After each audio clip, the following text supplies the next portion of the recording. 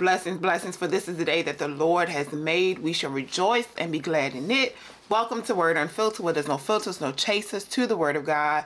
I don't take from it, I don't add to it, for He has already perfected it enough. Y'all, this video is about Prophet Brian Carn. His name should be Prophet Brian Carnal Minded. Um, the things that he is preaching is straight blasphemy, okay, against God, against Jesus Christ, okay? So in this video that I'm about to play for you, it's a video that is surfacing on TikTok and the things that this man is preaching is utterly ridiculous, okay? Utterly ridiculous. So watch this TikTok clip right here. The Bible says he was tempted not in some points, but what? Why does it tell us that? And, and that's a strong statement to say that he was tempted in all point. Why, why would he say that? And I think it's very powerful to understand that. Uh, I think we never take the time to really consider the feelings that was going through Jesus's body when Mary Magdalene was ministering to him. I don't, I don't think we ever think about that because Mary Magdalene wasn't no novice. Let me put it out there. She was a prostitute. Y'all quiet in here. She was a prostitute. Yeah, yeah, yeah. Yeah, yeah, yeah. Let me, let me, let me, let me keep. Now, don't know what she's a prostitute, but, but when she got saved, she didn't forget how to touch a man. So, so, so she knew how to touch him. And something, something she did. Some, I don't know what it was. But something made him say, she touched me. Something happened and now I know. I can't marry her, so just mention her. The Bible the text that he is talking about and falsely expounding on is Hebrews the 14th fourth chapter, excuse me, the 15th verse. And it says, For we have not in high priest which cannot be touched with the feeling of our infirmities, but was in all points tempted like as we are, yet without sin. And he's saying Mary Magdalene, who was a, a former prostitute, was touching Jesus in an intimate way because this what she was known for. This was her past life, okay? So she knew how to please men physically. Because Mary Magdalene wasn't no novice. Let me put it out there. She was a prostitute. Y'all quiet in here. She was a prostitute. Yeah, yeah, yeah.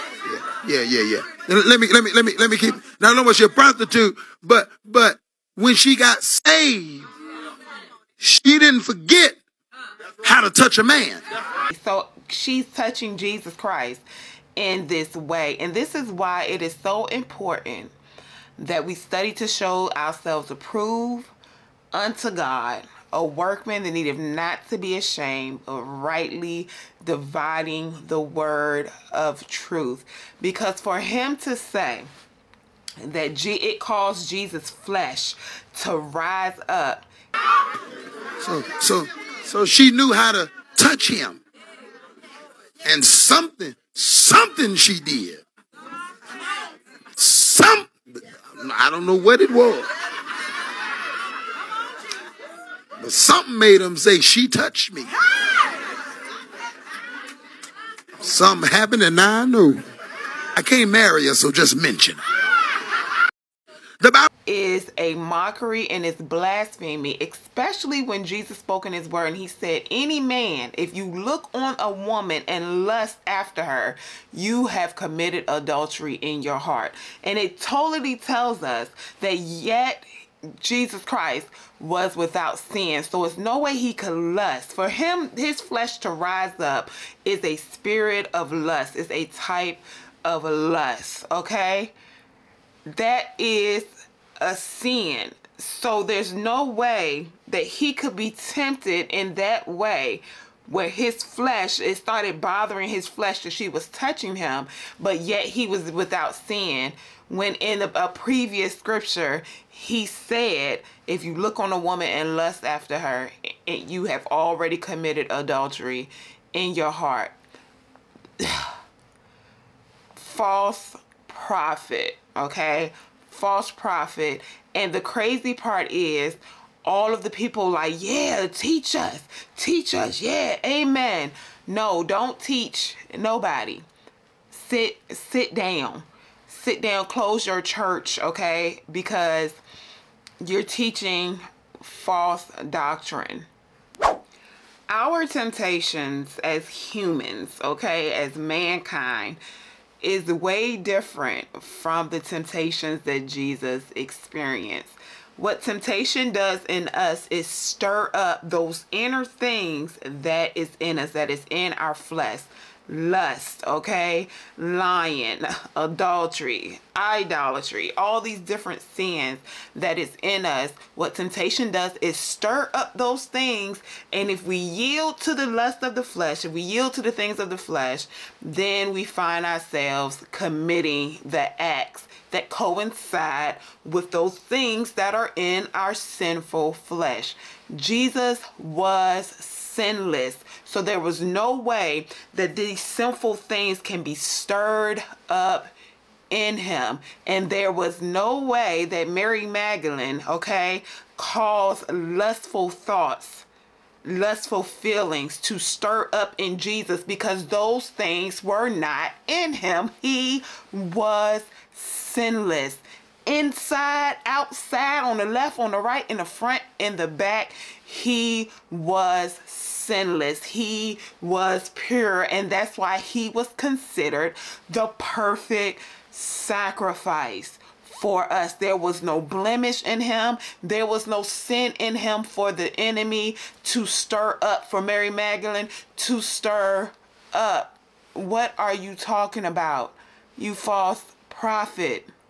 And this is why it says in Matthew, the seventh chapter, not everyone, 21st through the 23rd verse, not everyone that saith unto me, Lord, Lord, shall enter into the kingdom of heaven, but he that doeth the will of my Father which is in heaven. Many will say to me in that day, Lord, Lord, have we not prophesied in thy name? And in thy name have cast out devils? And in thy name done many wonderful works? And I will then profess unto them, I never knew you.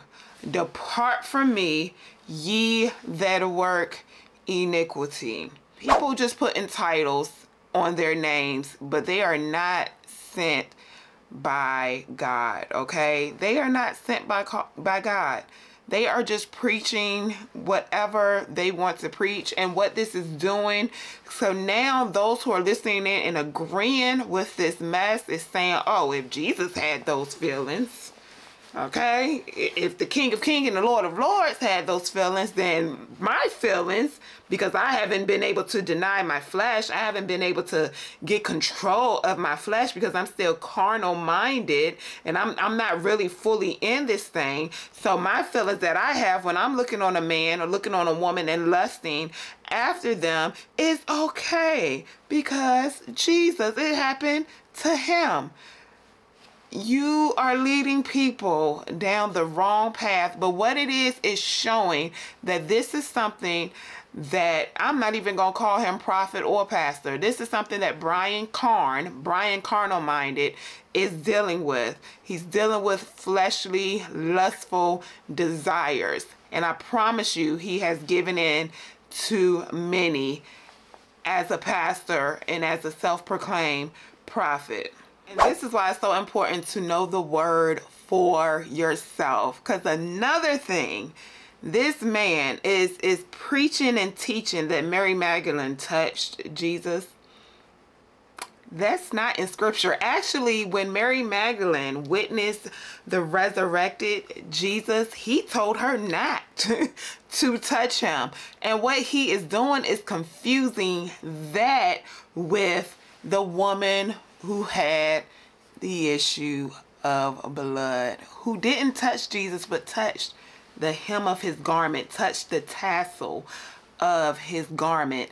And Jesus felt that this was a different type of touch because of her faith, her desperation. She knew that Jesus was the only one who could heal her because she had this issue for 12 long years and she spent all of her money seeing physicians and seeing specialists and no one could hear her, could heal her. So she knew when Jesus was coming through, she knew this was her last her last chance to get healed and delivered from this issue of blood that she had battled with for so long and she touched the hem of her garment his garment and she was made whole okay and her touch was different because of her faith it had nothing to do with Jesus lusting he this man don't even have the story's right. And this is why you got to know the word for yourself because all those people who are cheering and applauding him, he don't even have the story right.